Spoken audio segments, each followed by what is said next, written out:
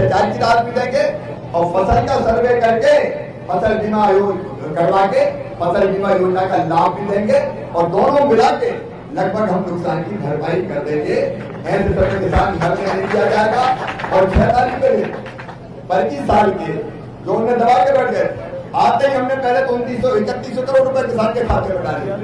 हाँ।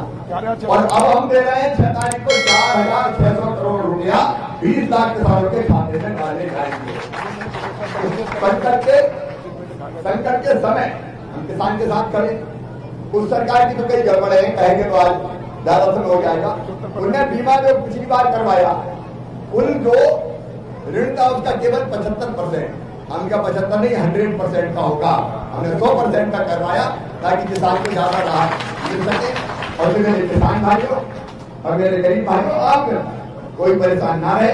हमारे कर्मठ मंत्री लगातार घूमते रहेंगे चौकसी रखेंगे। कलेक्टर, कमिश्नर, आईजी, एसपी सब संलग्न रहेंगे नीचे तक, ताकि आपकी बेहतर व्यवस्था बनाई जा सके। और इसलिए किसी को परेशान होने की ज़रूरत नहीं है। परेशानी है, लेकिन दूर करने के लिए तो हम लोग आए आप बिल्कुल चिंता न करें, इस संकट के पास